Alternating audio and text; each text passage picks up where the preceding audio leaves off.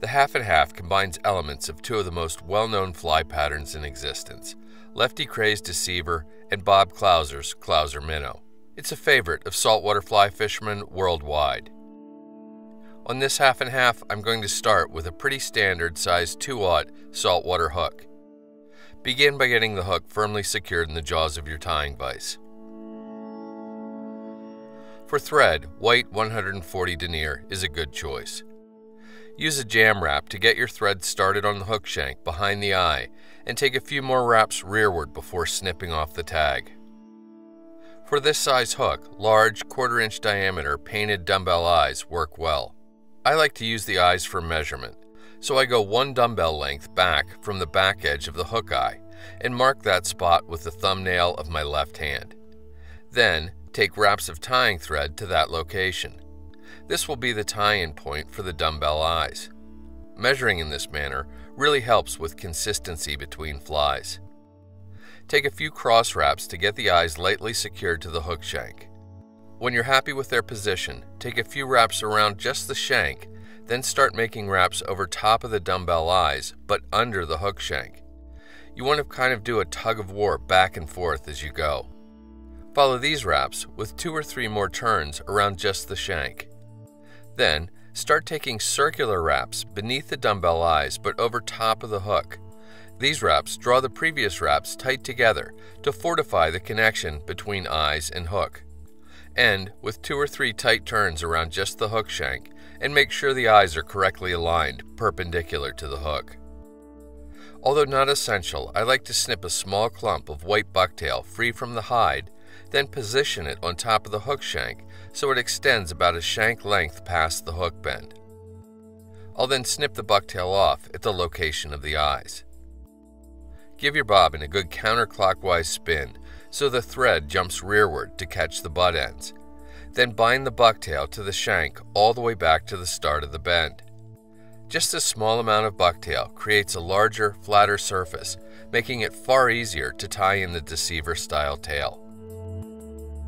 I'm a huge fan of olive and white half and halves, so I select four similar sized and shaped dark olive saddle hackles from a strung clump. To prep the feathers, strip all the fuzzy stuff off the lower part of the stem so you're left with feathers that look about like this. Take two and lay them together with both of their shiny sides facing you. Ideally, the feathers should be about two full hook lengths long. Lay the feathers against the near side of the hook at a diagonal and catch the stems with your tying thread. Take two or three turns to loosely hold the hackles in that position. Then carefully pull on the bare stems to draw just the first couple of hackle fibers beneath the thread wraps.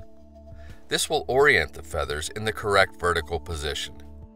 This position, however, is rather tenuous, and a single wrap of tying thread could throw everything out of whack. To prevent this, I like to apply just the smallest amount of UV cure resin to the intersection of the feathers and the thread wraps. After application, the resin should be allowed to sink in a bit. Once UV light is applied and the resin cured, the saddle hackles will be locked into the desired orientation and you can simply snip the excess stems off close without worry. Subsequent thread wraps shouldn't disturb the hackles in the least. Now, Repeat the same procedure with the remaining two saddle hackles on the far side of the hook. A rotary vise really comes in handy for doing this. Again, pull just the first few fibers under the thread wraps to get the feathers oriented correctly. Then, give the intersection a light coat of UV resin and a healthy shot with the UV torch. Here too, the feathers should be basically locked into place. Get the hook reoriented back to its normal position then advance your tying thread forward to just behind the dumbbell eyes. Six to eight strands of gold crystal flash are used to add a little bit of shimmer and shine to the pattern. Measure so the strands extend about halfway down the saddle hackle tail. Bind the flash to the top of the hook shank behind the eyes and snip the excess off close. Holding three or four strands on the near side of the hook, start taking thread wraps to bind them down. Then, push the remaining three or four strands over to the far side of the hook. Take thread wraps rearward all the way to the base of the tail. The idea is to have an equal number of strands on either side of the tail. Advance your tying thread forward to immediately in front of the dumbbell eyes. Some people will cover the area between the eyes and the base of the tail with diamond braid or a similar material, but I've never really found it to be necessary. Go back to your white bucktail and this time clip a fair sized clump from up near the tip of the tail. I like to keep my half and halves very sparse, so snip a relatively small clump. While holding the tips in your left hand, strip out the shorter hairs from the butts with your right. With the bucktail in the fingertips of your right hand, measure so the hair extends to about the same length as the crystal flash, in other words, halfway down the tail. Regrip the hair in the fingertips of your left hand above the dumbbell eyes. Then, using the back edge of the hook eye as a guide, snip the hair off square. With the hair pointing down at about a 45 degree angle, push the top edge of the clump down to the back edge of the hook eye. Start taking wraps with your tying thread to anchor the material to the hook shank. Ideally, it should gently taper down to the hook without your thread kind of dropping off a cliff. Keep taking wraps with your tying thread, first to in front of the dumbbell eyes, then underneath them and over top of the bucktail behind them. Take three or four nice tight wraps right there, then begin making open spiral wraps down the shank all the way to the base of the tail. Then wrap back up to the eyes in a crisscross manner. At this point, the fly should look something like this. Although certainly optional, I like to take just a small pinch of bright red dubbing and use it to create a thin dubbing noodle on my tying thread. A few wraps with the noodle to build up a short dub collar behind the eyes, I think adds to the realism of the pattern, as it kind of looks like gills or a little bit of blood, as on a wounded baitfish. Position your tying thread immediately in front of the dumbbell eyes, then once again turn the hook upside down. If you like, now's a good time to apply an ample drop of UV Cure resin to all those thread wraps beneath the eyes. A healthy shot of UV light will further lock the dumbbell eyes to the hook shank. Now, select a clump of olive bucktail, similar in size to the last white clump.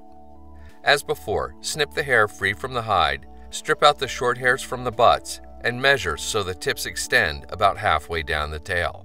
Snip the butts off square, Lay them against the hook shank at a 45 degree angle with the top edge at the back of the hook eye, then take thread wraps to bind them down. Again, you're looking for a gentle taper down to the hook shank. How much you want to build up the head of the fly with thread wraps is really a matter of personal preference. I prefer a head that's fairly slim, about like this. When you're happy with the shape, do a 5 or 6 turn whip finish, seat the knot well, and snip or cut your tying thread free. Get the olive bucktail split equally on either side of the hook, then reorient the fly back into its normal position. Applying a thin coat of UV Cure resin to the bucktail over top of the dumbbell eyes and to the thread wraps at the head of the fly ensures the wraps won't come unraveled, the bucktail won't pull out, and the fly might just last for more than one or two bluefish. And that's the half and half. They ride with the hook point up and have the jiggy motion of a clouser, but also have the longer body and tail movement of a lefty's deceiver. It's an all around fabulous fly.